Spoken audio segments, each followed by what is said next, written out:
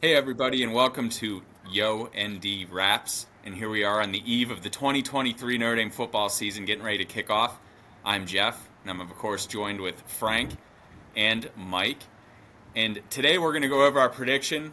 We're going to go over some of the other, at least the spreads, if we like any, and some of the other games, and just talk about tomorrow and, and what we're looking forward to the most and what we're not. And with that said, what are you guys looking forward to the most tomorrow? What question do you have that you want to see answered in a positive way tomorrow, Frank? Um, I want to see them play a complete game. Uh, if you recall, we were all there at the game last year. The first half couldn't have gone any better. The second half was the complete antithesis of that. Um, it, it, play 60 minutes of football, play a complete game, uh, and ideally get out of there healthy. But I'd like to see Notre Dame get control of the game and play everybody they brought along. Um, I, I For think four quarters, I developing some of these younger kids, getting kids some game reps. Um, you know that's going to help your depth down the line. I, I I would be very disappointed if this game's nip and tuck into the second half tomorrow. Although that's possible, get the win, but I, would like to see a complete game and make a statement. What about you, Mike? What are you feeling tomorrow? What are you, what are you looking forward to the most out of Notre Dame? I want to see if they're going to come out and try and physically dominate someone or are we going to go back to Brian Kelly, Tommy Rees play calling where they think they can just out athlete them? Um, and you end up scoring five out of six possessions and losing the football game by doing that. I agree with you. And that brings us to the next question here. What worries you the most? And Mike, you kind of hit the nail on the head for me. I'm, I'm interested to see if Notre Dame's going to react to, it's, it's weird to say, Navy's defense but they're going to blitz. I mean, we know that's coming. That's what worked for them last year. You know, now that Tommy's gone, hopefully we make some sort of adjustment because Tommy got embarrassed in that second half. I mean, he got embarrassed. And uh, well, I know I'm saying Tommy, but you could also say, you know, it, it trickles down to, or up to Marcus as well. But um, so what worries you guys the most, Frank? Uh, I'd say the defense. Uh, this isn't a vintage Navy team, and for those of you that follow Navy football, uh, this isn't Chris McCoy or Ricky Dobbs or um, you know playing quarterback. Alton and, Gizzard. The, and quarterback really makes this offense go. They don't have a dynamic player at quarterback, at least that's been demonstrated yet. Um, but are they going to throw tomorrow, though?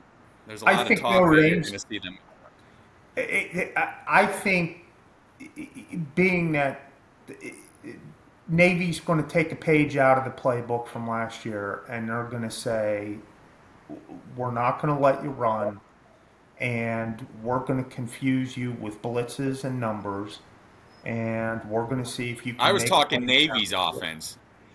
Is Navy going to throw a little bit more tomorrow?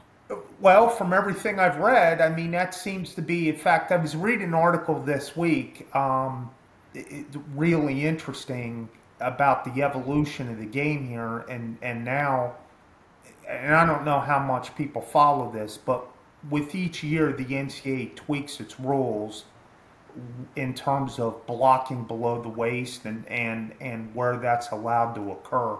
And the intent of it is they're taking blocks below the waist out of the game completely.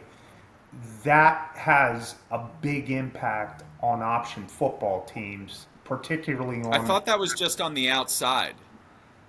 But the role keeps yep. getting expanded every year. Understood. So, with that being said, it's that has an impact on the on the style of football Navy plays Plus, eh, they have some new coaches. Um, eh, eh, you know, instead of instead of rock, running option outside, are you going to see quick games outside? Um, so you may see the ball in the air a little bit more from them. Um, but the point of the whole thing is, is their defense is going to come to play, and they're limited athletically, but I think they're going to make Notre Dame try to throw the ball, and I think Notre Dame's going to try to throw the ball. I think that's one of the reasons Hartman came here, and uh, I, I think to what Michael said earlier, there's going to be an element where Notre Dame's going to out athlete Navy. I, I would prefer to see them control the game at the line of scrimmage on both sides of the ball, but I'm not quite sold that that's going to happen.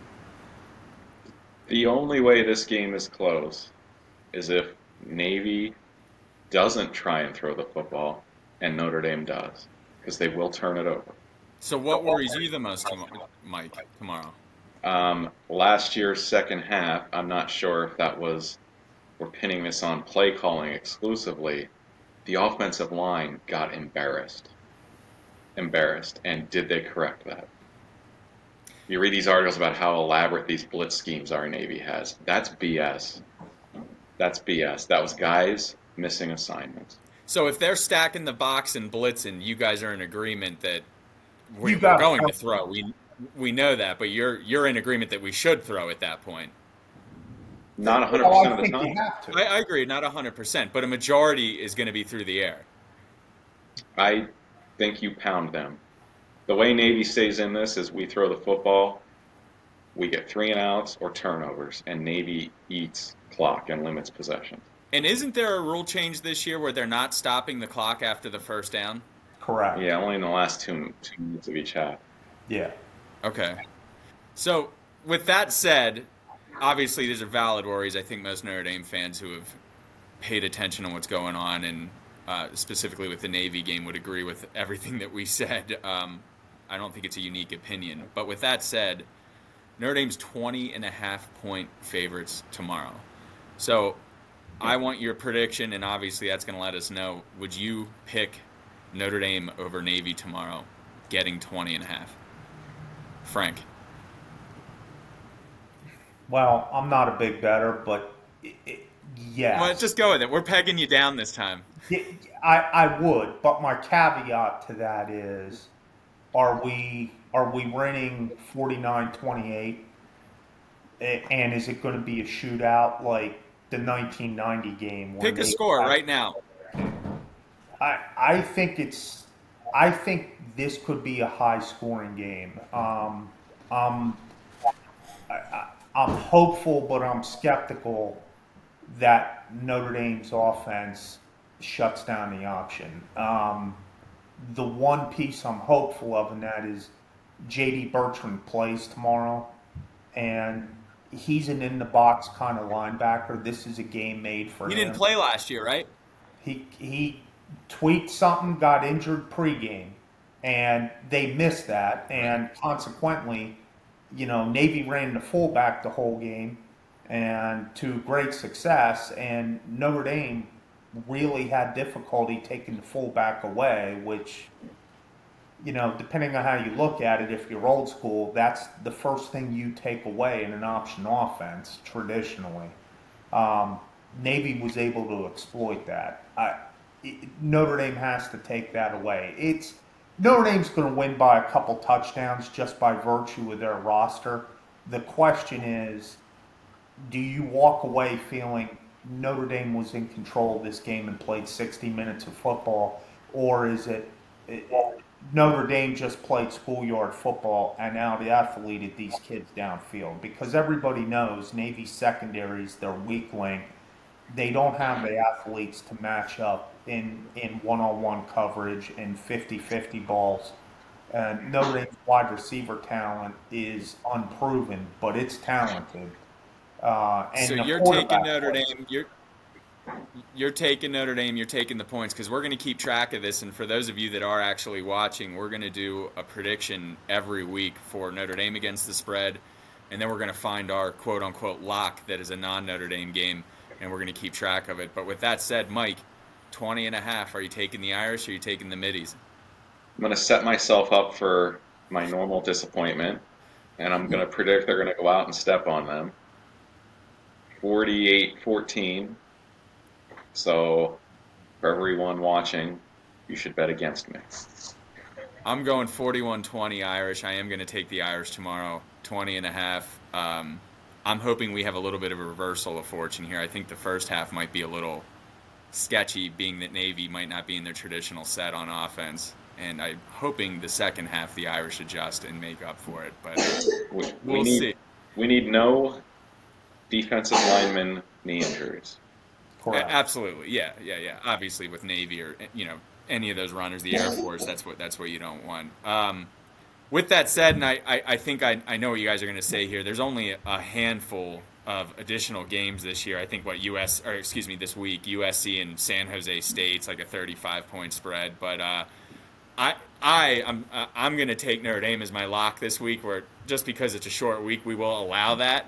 Um, are there any games outside of ND that stuck out to you guys at all? No, it's a Um, boring week. Yeah, what is there? Eight games on the docket tomorrow. So the other game I'm interested. Yeah, I think it's like seven, something like that, and Is- they're all kind of obviously lousy. the other ones USC and San Jose State. But, you know, I, I principally because we play USC this year, I want to see how they look, particularly on defense and particularly in the offensive line. And what's curious about that is, I want to see if you USC it comes out and just out athletes San Jose State, or do they play a complete football game and do they get better offensive line play? Do they get better defensive play this year? Um, you know, they're probably going to score 45 to 50 points just because Caleb Williams. So, are you taking them or not? Are you switching? Are you making your lock of the week USC? No, I'm. I, I'm going to go out and say Notre Dame's going to cover tomorrow, but I'm anxious to see USC, and I like Mountain West football too. So you guys know that. So I'm going to watch. Who doesn't? Yeah. So, but it's a common opponent. So to to wrap it up here, I know you guys have been to your more than fair share of Notre Dame games. Um, I'm sure Frank will know this number. Mike might not, but how many Notre Dame Navy games do you think you've been to, or if you know, and what's your favorite memory? Frank, go ahead. So I've been to 18 Navy games. Eight- 18. 17 of them Notre Dame Navy games. Um, and obviously, two of them stand out. One is the 96 game in Ireland um, that I went to for my honeymoon. And, and the reason that game stands out is No romantic. yeah, the day before the game, Notre Dame was supposed to have a practice at Croke Park where the game was played, and it was going to be open to the public. So a handful of Notre Dame fans showed up, went into the stadium to see Notre Dame's football team. We're waiting around, we don't see anybody, and then lo and behold, Notre Dame's football team comes out onto the field and they're in street clothes. They're not going to practice. And this was completely impromptu. What ended up happening was is You hung out with Marc Edwards more than your wife the rest of the honeymoon. we just we just all went down on the field and started mingling with the players. Um, yeah, Natalie got her picture taken with Marc Edwards and Lou Holtz. I, I met Joe Moore, who is a legend in my mind of offensive line coaches.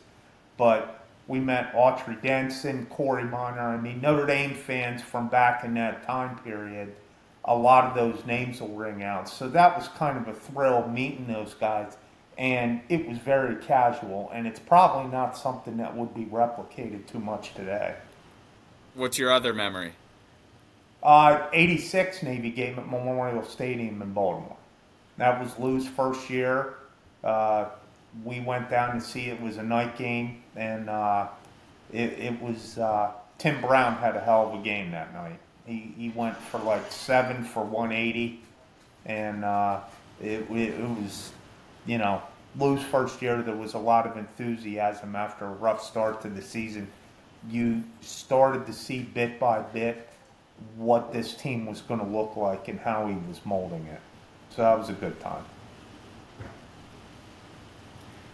I don't know where Mike just got to, but I'd like to ask him his. Mine, I, I don't know how many Notre Dame Navy games I've seen, but um, I'd say 05 for some of the reasons that you're mentioning, Frank. It was um, Weis's first year, and there was excitement around it, and you know, Notre Dame was studded at that point as well. And then uh, last year, and uh, the first half was cool. I still don't know that I've seen the second half, just because some of our some of the company we had at the game couldn't be, helped out. so uh, yeah, I would say that, well, last year, and, and we've seen some turns. We were we yeah. were at the 07 game that they lost. I was not. Streak. We were, and I was at the 09 game uh, that Notre Dame also Mike, lost. What's your favorite Notre Dame Navy moment that you've seen live, and do you have any idea how many you've been to? No idea, less than Frank, but a lot. They're always forgettable. You're either, if you go and hammer them, you're an asshole team for blowing them off the field. If you play them close, you suck, and God forbid you lose. And we've seen them lose. So, my I have three favorite Navy games. None of them are against Notre Dame. They're all against Army. No, because you went all those Dame, Army Navy games back in the day. Yeah. All right, I'm going to change. My favorite Navy game was uh, Navy and Holy Cross in 19. And uh, I have a buddy affiliated with Holy Cross that we all know, and, and we went down, and it was just pretty relaxed. So it was a good game, but it was hot. It was hotter than hell. Um, but before we sign off, do you guys have anything you want to add before game day? They better run the football tomorrow. Yeah. Okay. Okay. Okay. I, yeah, I think what you see out of them tomorrow is a harbinger. It's what you're going to get all year. Exactly, and it, because if they come out and they just throw the ball all over the schoolyard against Navy tomorrow, and they win the game, yeah, that's great. You beat Navy. That's the objective. But are you really going to be able to do that against Ohio State in three or four weeks? You're not going to out athlete Ohio State. You, are going to have to play complete football. So eh, I, I want to see some semblance of a structured offense, and, and I want to see a defense that gets off the field and creates turnovers. I, I think if there's two things Notre Dame's defense could improve upon is red zone defense, producing turnovers, creating havoc, and, and getting off the field on third down. And I, I don't care what style of offense you're playing. You're either doing it or you're not. Um, and, and this is an opportunity, along with next week, to, to work out some kinks, to play some people, to get some reps. Um, so when you go into the season a little bit deeper, and let's not forget the Notre Dame schedule is front loaded this year. I mean, looking at it on paper, by September 30th, their regular season's half over. And they don't have an off week, uh, I think, until October 21st. I don't have it in front of me, but I think that's it. So you're eight games into your season by mid October. Um, so all right, this isn't a season preview here. You're looking forward to four quarters tomorrow. No, I am. I'm just there's I'm setting the table for the rest of the year. So what we see out of Navy, I I, I want to see carried through. I mean, this Notre Dame's going to win tomorrow. That's not the point. The point is is how they win by 21. So all right, well, gentlemen, I appreciate your time. To everyone watching, check out our other videos. We're, we're uploading all kinds of stuff. So if there's anything that you want to see, ask, please like, subscribe, comment, and let us know. Um, we are going to be back Saturday or Sunday with just a little wrap up. Um, but like I said, we're going to try and just post some other videos throughout the week, maybe one or two, just little guys. So check us out, and uh, we will see you later. And as always, go Irish.